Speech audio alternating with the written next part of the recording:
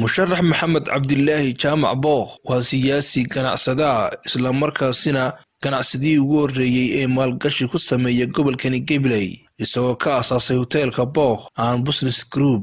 Maxamed waxa uu ka mid ahaa dhallinyaradii hiilka iyo taageerada la garab istaagay markii xisbiga talada dalka haya ee la aasaasay dhammaana shirweynayaashii xisbiga kulmiya qabsaday waxa uu kaga qayb galay erga ahaan.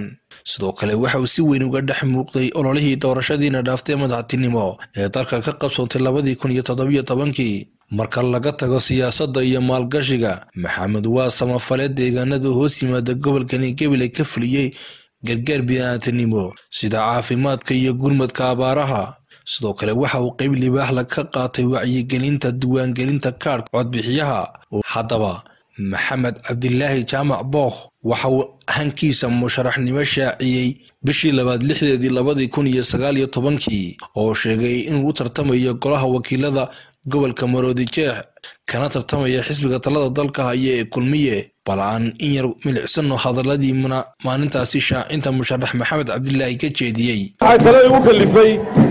inaan halkan soo istaago oo idhaahdo waxaan maanta u sharaxanahay xildhibaannimada gobolka maroodi jeex markii aan arkay xildhibaanadii loo doortay gobolkan oo ka muuqan waayey oo aan waayey meel alla meel ay joogaan oy ka muuqdaan.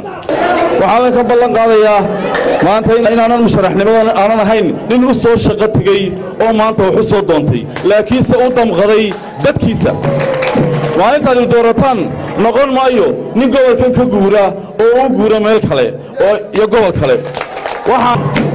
Waxaan xogagaal u ahay dhib kasta oo haysata iyo barkhad kasta wixii ka jira gobolkan. Waxaan ognahay in gebiley ay buuxisay shuruudihii gobolnimo laakiin ay weyday cid u dhaqdhaqaaqda oo sharciga ugu hilisa waxaan ballan qaadayaa inaan ka shaqayn doono sida ay u heli lahayd gebiley xuquuqdeeda ka dhiman ee ku leedahay ee u leedahay ku leedahay jamhuuriyadda somalilan ee gobolnimo. Sharcigu haddii uu ku shaqeeyo oo uu hirgalo waxay sharci u leeyahay gobolka uu ka soo jeedaana inay xuquuqdiisa ay xuquuqda heli doonto. Shaacintan waxaanan ka sharaxanahay xisbiga kulmiye sidoo kale waxa uu musharaxu hadalla ka jeediyey goobihii gaadhsiiyey deeqaha gurmudka bilaadnimo iyo taageerada dhakhaatiirtii gabiley ka fulinaya adeegyada caafimaadka ee bilaashka. Xoogaa yar oo itaalka iyaga afar boqoloo kiish ayaan bal la gaadha. Inta wax kale bal dee wixii ilaahay u keeno kale ay helayaan maanta waa la arkayaa abaarta taagan. Aan uga mahad celinayaa dhakhaatiirta tabaruca inooga yimiday taiwan oo ka kooban shan iyo soddon dhakhtar iyo saddex iyo toban trial station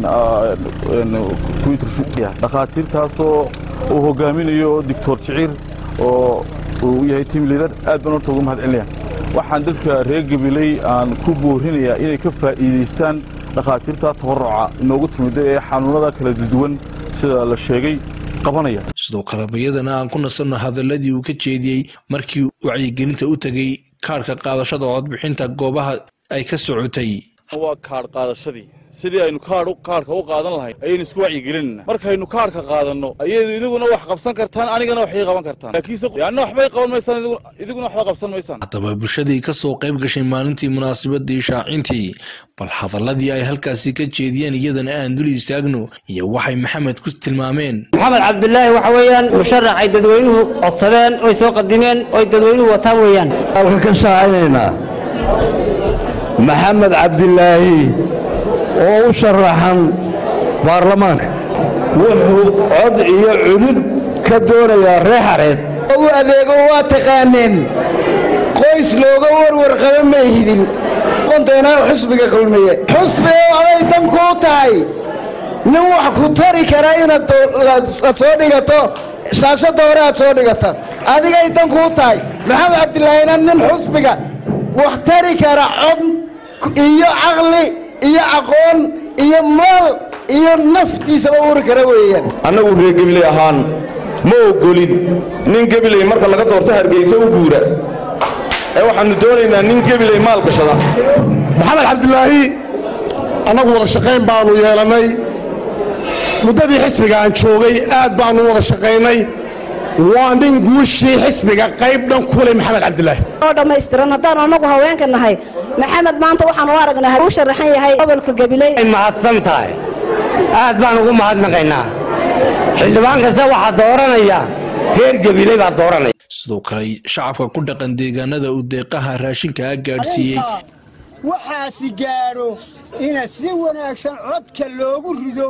Wanaagsan ayaa looga soo jawaabay. Intii maalintii timiday ee damaqsatay walaalahood si fiican bay walaalaha uga soo jawaabeen. Wuxuu gartay maanta inuu ehelkiisii dhawaaqay bal inta gurmad kale meelun wax laga helayo uu soo daboolo oo aanu cidna waxba la sugin. In la kala adduunyo badan yahay waa suuragal laakiin in la kala arrin bataa laga yaaba baaqii jawaabtii koowaad waxaa soo bixiyey ilaahay jasaay siiye maxamed cabdilaahi aw jaama bookh sidoo kale dhakhaatiir gabiley u yimiday inay fuliyaan adeegyo caafimaad oo bilaasha ayaa tilmaamay doorka uu ku lahaa musharaxu waxaan si gaar ah ugu mahadnaqayaa mulkiilaha bookh hotel oo si karaamo iyo sharaf leh noo maamusay oo noo soo dhoweeyey maxamed cabdilaahi jaamac dhowaan waxay guddiga komishinka doorashooyinka qaranka somalilan ku dhawaaqeen in la qabanayo doorashooyinkaas ku sidkan ee golayaasha wakiilada iyo deegaanka oo dhacaya koob iyo soddonka bisha shanaad ee sanadkan labada kun iyo koob iyo labaatanka. Haddaba intaa wixii ka dambeeya waxaa soo baxay dad sheegaya inay u sharaxan yihiin golayaasha wakiilada iyo deegaanka. Wuxuuna qof kasta guclo orod ugu jira siduu u heli lahaa xisbi ka mid a xisbiyada qaranka islamarkaasina ugu matali lahaa labada gole ee wakiilada iyo deegaanka. Musharax kastana waxaa riixaya islamarkaasina taageeraya odayaashiisa iyo siyaasiyiinta. Laakiin waxaa jira musharaxiin iyagu xisbiyada ku soo jiray islamarkaasina wakhtigii ololihii doorashada madaxtinimada dalka ka dhacday labadii kun iyo toddobiyo tobankii. Agtagna saddexdii musharax ee u kala tartamayay xisbiyada qaranka waxaana dadkaasi ka mid ahaa sida musharax maxamed cabdilaahi jaamac booq oo isagu wakhtigaasi juhdi geliyey xisbiga talada dalka haye ee kulmiye